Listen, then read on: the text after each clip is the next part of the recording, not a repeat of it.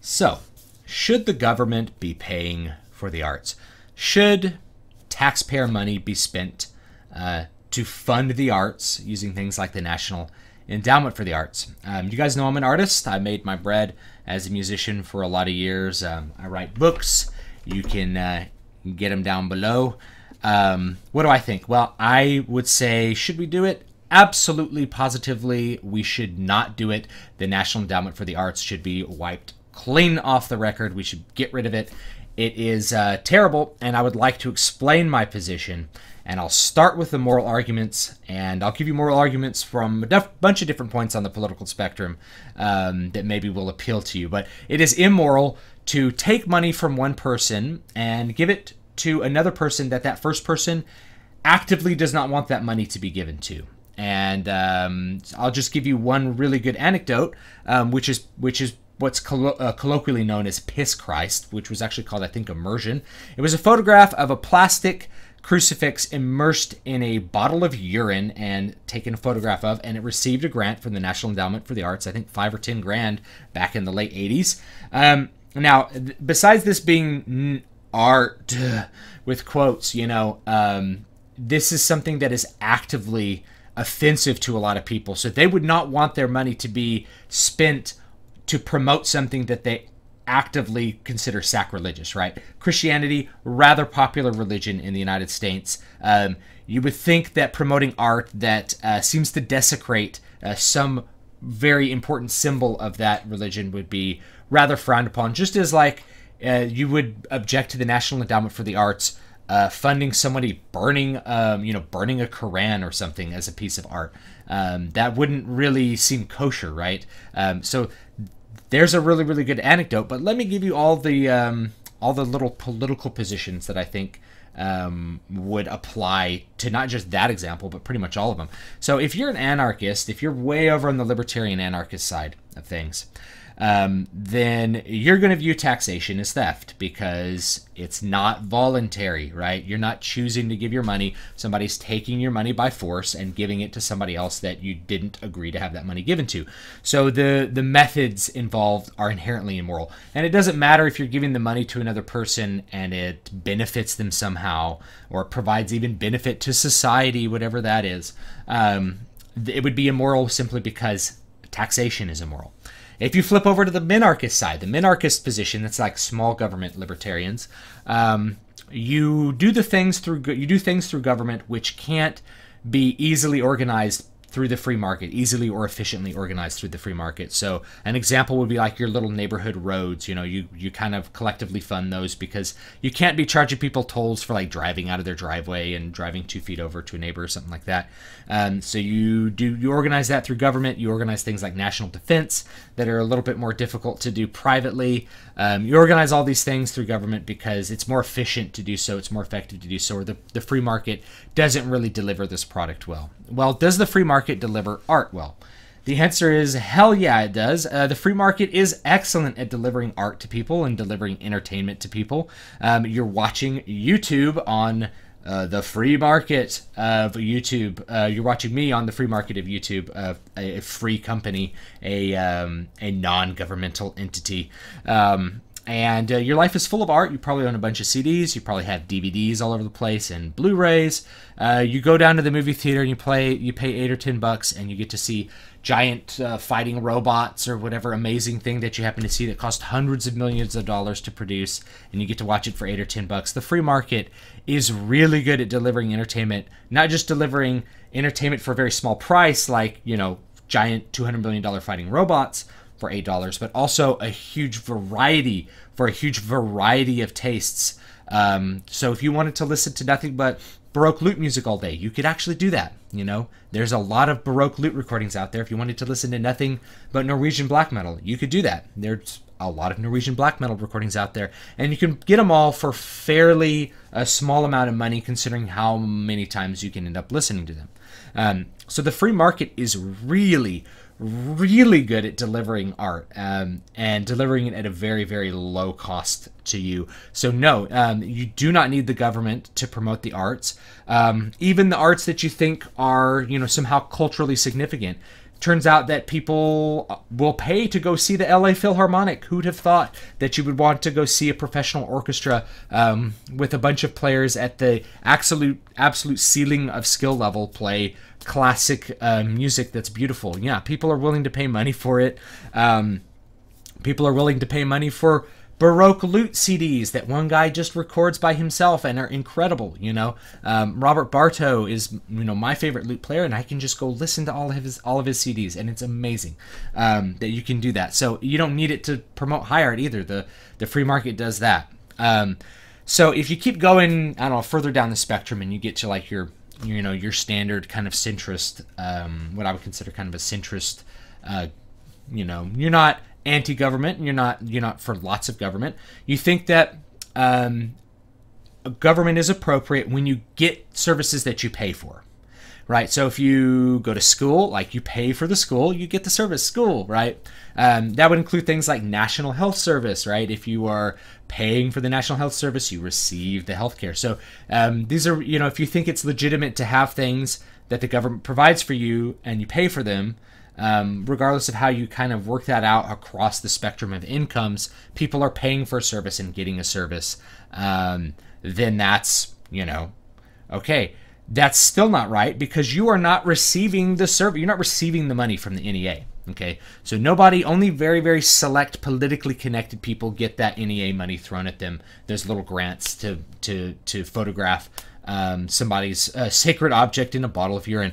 Um, that's what you uh, that's what you get so most people have never really interacted with something that's gotten an nea grant with a couple of exceptions um, you know they've never really interacted with um, it, with any of these sort of politically connected little art exhibits um, so you're not benefiting most people are not benefiting from seeing the art uh, especially if you don't live like in an urban center you know if you live out in the country like me then it's just it's just you're never ever going to interact with anything uh, that receives um, an endowment grant. Uh, so you don't benefit from seeing the art that's paid for. And if you do see the art, chances are you're not going to like it uh, because, by definition, um, the NEA funds art that people don't like. I mean, and the reason is if they liked it, they would buy it, right? things that people like, people pay for. They find a way to pay for it. If they like a TV show, they pay for it by watching ads um, when it's like beamed into their house for free. Think about this for a second. The free market delivers free television and free YouTube. That's pretty awesome. So it's pretty good at delivering. It's pretty good at delivering art and entertainment. Um, so yeah, uh, if you consider it okay to pay for something and get a service, well, you're not getting the service from the NEA and you're not getting the money from the NEA. You're getting nothing. Um, you're getting things that you know by definition are are have no real value where people would actually buy them. So if, if it if it had value, people would buy it and there'd be no need for the grant. But because it doesn't have value, you have a need for the grant, but nobody wants it. Um, so it's kind of one of those things that it's like there's never a there's never a case where like you get a grant for a great piece of art that everyone likes because if everyone liked it, you wouldn't need the grant, right? Um, if you even go even like really kind of really far and you go all the way to like a socialist or maybe even um, you know, you know, a, a even a communist sort of uh, way of thinking. Uh, you wouldn't want the National Endowment for the Arts because um, if somebody has need and they're an artist, you give them what they need, right? Um, you don't you don't give them ten grand to pay them for a piece of art. That's inherently like capitalistic. That you get paid for some for some work that you've done in in specific values that are determined by someone else. Um, it'd be more like, okay, the artist needs to eat, you know, we'll give him the money, you know, we'll give him the resources to eat, and he can just produce his art, right? That would be more like a socialist thing. This is a picking and choosing because not everyone gets this National Endowment for the Arts money. Only very select people get it, and all the other artists just have to starve and put up with the fact that they are paying for some other artist to get money that's making art that they by definition do not want okay so that's what most people get it's not you know it's not even like socialist or anything like that. Um, there's no workers owning means of production for art. They're just paying random artists. So it's it's not good on even on like the far you know the far collectivist versions of government. It's not really justifiable to me at all. Um, if you're a conservative of course um, conservatives um, like to talk often about culture, uh, but uh, the National Endowment for the Arts doesn't really promote the culture that conservatives like. So, of course, conservatives are not going to really approve of that. And for the most part, um, those cultural idioms which promote conservative values just do fine in the free market. Um, they just do fine without government support. People are willing to pay pay for the arts or not. Um, lastly, you know, just because you're giving someone money um, doesn't mean, or just because you're not giving someone money, like from the National Endowments for the Arts, doesn't mean that that person isn't going to produce art um, uh, because they feel that they need to. So if someone feels that they have something culturally significant to say or do, then they'll probably just do that, whether or not you give them 10 grand for doing it. Um, and that's an important that's an important point is that if somebody feels in their heart that they have something important that would affect culture to do they just do it. Um, artists don't really sit around and wait for like oh um, you know uh, dear sweet uh, national endowment for the arts gods please bequeath me $10000 um, so that i may make art that will positively affect the world. Thank you. And they just they will go do it. And and i know that because i'm an artist. Um, and this goes to you know let me I could talk uh, before I talk about like the smattering of other arguments I've heard.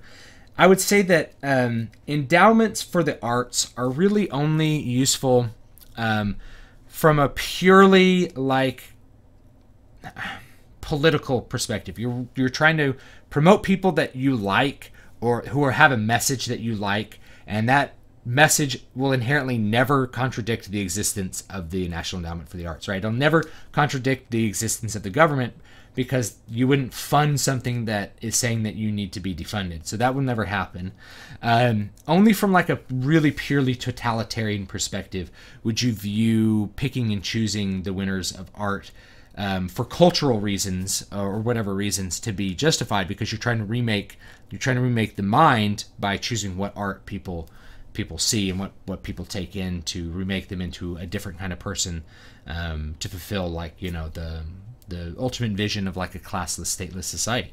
Um, so let me get into like the smattering of other little arguments that I've heard millions of times. Keep in mind, I know lots of artists, I know lots of musicians, and for whatever reasons um, that they have, they are really, really um, opposed to cutting the NEA, and I, I, I um, it, it's hard to ferret out exactly why they think this, uh, but I think it's that you know they're invested in the arts, and so the idea of cutting an endowment for the arts seems like it would affect them, even though it really wouldn't because they don't get national endowments for the arts money, so it would have no net effect on them um, whatsoever. But the first uh, little spattering argument is like, wouldn't it be nice to be able to make art without the evil of the profit motive polluting it. You could make art that would just affect people properly, and you wouldn't have to worry about whether you would have to sell it at the end of the day. You could just make what you believed was important for people to know. Um, this is the biggest uh, like BS ever. Um, you know, I wrote this book in its entirety without receiving a dime up front. And I'm super, super thankful when people buy this book because that means that uh, they are seeing some potential value there and they would like to experience some good piece of art or good piece of entertainment. Um, that means a lot to me. But I didn't write it because I wanted to make money. I haven't really made a lot of money on this book. That's okay. I wrote it because I had a story to tell. And I think there's a lot of other writers on this channel that would probably agree with me. You write the art because you have the story to tell. It's in your heart, it's in your being. You got to get it out and you want to make you want to make it work. And of course you want to sell it because you want people to read your story and experience what um, what moves you and what your passion is. But to say that it's entirely the profit motive or that the profit motive pollutes somehow the the like creation of art is is really dumb. Most of the time, you're creating the art up front without being paid a dime and at a great expense to you, and it's not uh, like you're investing in a company that you're hoping to make lots of money on the other end. You do it because you just really you really want that art to exist. Um, it's that's just a really really common perspective for artists. Very few artists um, that I know got into art to make money, and those that did quickly found that it was a different business than what they thought it was as far as making money goes. So, uh, no, the profit motive that's a that's a BS thing. People make art all the time without the profit motive. Um, I give away my art all the time. You're watching a free video. Um, you can listen to free music on the YouTube channel or on my SoundCloud. Um, you can read my books for free dvspress.com. I give away a lot of content. Um, to say that I'm purely obsessed with the private motive, well, I would like to make money at it, um, but I think it's more important to me to give something to people. You know, I want people to experience what I have a passion for. That's what matters more to me. It's um, it's never like, oh, I'm only concerned for profit, you know, or things like that, um, or that if you're concerned for profit, you're not going to make a good product. Obviously, if people are making something that's very profitable, lots of people approve of it enough to buy it, which means that they're making good art, right? They're making art that's at least good to somebody. And I know that that's appeal to popularity, but people vote with their dollars all the time. So um, lots of people liked Force Awakens. I didn't. It's okay. You don't have to like everything that I don't like, or you don't have to like everything I like and dislike the same things that I dislike. Um, this other idea is that if you cut the arts, the arts will go away. I explained this one like um, saying that you want to cut government funding for the arts, you know, because it's immoral. That doesn't mean that you hate the arts or that you hate classical music or you hate painting or you hate people creating art. Um, that's um, just a non-argument. The the arts will not die um, because before there was a national endowment for the art arts, there was art. and there was art that people didn't like that was unpopular and people still put it out. Um, and long after the national endowment for the arts is history and uh, is dead and gone, there will still be great art being made. Um, the fact is that it's not necessary and it's not effective for promoting good art. Um, this other one is this concept of high art that I've had um, plenty of arguments with with with with like music faculty years ago um, when they when they're like, oh, Germany funds arts the right way, you know. Um, that they have this idea that you need to fund uh, what they would consider like art music, which is a term that I really hate. Um, because it implies that music that isn't art music isn't art, which is dumb. Like you're not going to go up to um, you're not going to go up to Metallica and be like, yeah, you know, I know that you worked for like years on this album, but it's not art. It's not art. You know, real art's opera, right? So you know, this isn't art. I know that you, you know, it's just you guys are just I don't know. You you put some sound put some sound on a hard drive. So whatever, it's not art. Um, so it's this uh, this elitist attitude that um, opera is the art that deserves all preservation, or classical music's the art that deserves all preservation. Um, meanwhile, classical painting has just completely disappeared because um, what the um, what gets promoted in art schools and through the National Endowment for the Arts are things like Piss Christ, you know, dropping a, a, crucifix into a bottle of urine. That's what you get instead of the classic art. You don't really get the classic high art um, because you you know people who make high art and they aren't necessarily politically connected, um, and the idea that somehow people would stop being an opera singer, which they've trained to do because uh, they weren't receiving grant money and they would have to charge people for tickets is nonsense. It costs a lot of money to go to the opera. The opera can be profitable. Um, there's plenty of operas that operate fine without any kind of government subsidy or government money. Plenty of orchestras that operate just fine without um, involuntary um, government taxation. So the idea that you need some sort of endowment to maintain culturally significant artist nonsense. It's elitist. Um, it uh, you know there's no reason that you can't view something like uh, Straight Outta Compton as culturally significant because it was. It had a big impact. Uh, arguably had a bigger impact than a lot of other things that people consider high art. And um, this um, this idea that if you don't want to fund the arts, uh, you don't like art. That's the other part. No, that's not the case. Um, we buy CDs all the time just because somebody doesn't want to fund it doesn't mean that they that, that they hate art. They can if they like that art, they can of course go ahead and buy the art. And then the last um, one of the smattering arguments that I always get is like the Sesame Street argument, which is you know Sesame Street aired on PBS, and you know it's it started off with like government money, but now it's a pretty profitable thing. And they're like, well, lots of people love Sesame Street, and there'd be no Sesame Street if there was no PBS, and there'd be no PBS if we didn't have like a bunch of government money involved in it. Um, well, the, the problem with that argument is that if you're saying that, that there's benefit to doing something wrong, that doesn't make the wrong thing cease being wrong, uh, right? So it doesn't make um, the bad thing stop being bad because somebody benefited. Um, you know, when um, Bernie Madoff stole a bunch of money from people, he benefited. Benefit is not like the razor of morality at all. Um, if you steal a thousand dollars from somebody and give it to a thousand bums, you haven't done something moral. You've stolen a thousand dollars, um, probably from somebody who needed the thousand dollars. Um, so just because something good happens as a result of some sort of government action does not mean the government action is justified.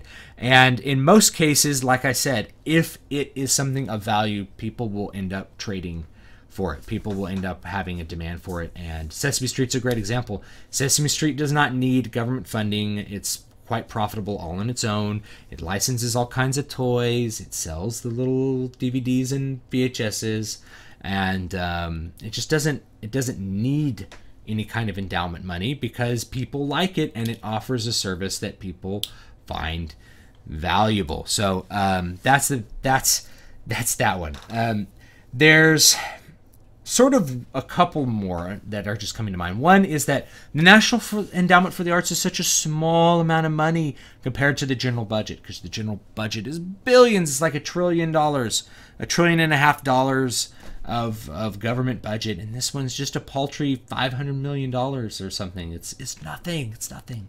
Well, um, five hundred million dollars is still a lot of money, and um, if somebody steals a dollar out of your pocket, it doesn't there is no like point at which theft stops becoming wrong because it's too small or it's too insignificant a thing right? Um, if you steal 50 cents out of my pocket that was still my 50 cents. It was wrong to steal it.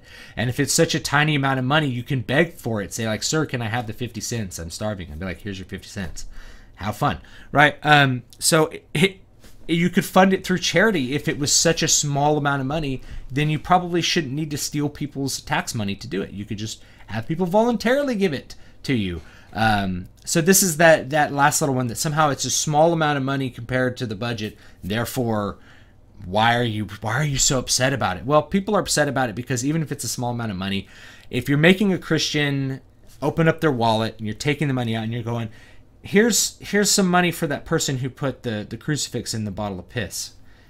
You know, they're going to be upset about it. And I know that that's an anecdote, but um, the fact that that happens should be like quite, you know, quite a good indicator of, of just what sort of things the uh, National Endowment for the Arts is capable of promoting.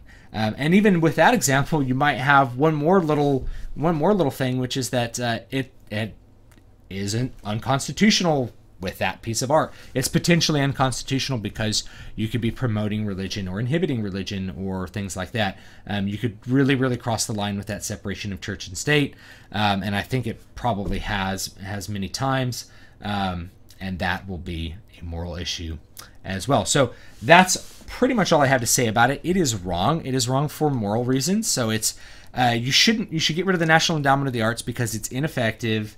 Um, it's inefficient and most importantly, it is wrong. It is morally wrong to be taking money from one person involuntarily and giving it to someone that they specifically don't want the money to go to. And you know that they specifically don't want their money to go to that person because if they did, they would buy that person's art. It's it's that simple. So you guys have a great day. I hope um, I will hear from you soon. Uh, check out all the links down below for my books. You can buy Muramasa Blood Drinker over at Amazon in paperback or in um, ebook. You can buy Prophet of the Godseed. Uh, the album will be coming out this year at some point. Um, you can check out my new podcast with uh, Matt Wellman, Writers of the Dawn. It's linked down below. You can find it on iTunes, or you can just check the um, the SoundCloud link, or I'll probably put like an RSS link there too if you like your RSS feeds, which you can also put into iTunes and and download your podcasts and listen to them. Um, we talk about writing on those podcasts uh, for the most part, so um, I'm really enjoying making them, and I hope you will enjoy listening to them too. You guys have a great, great day.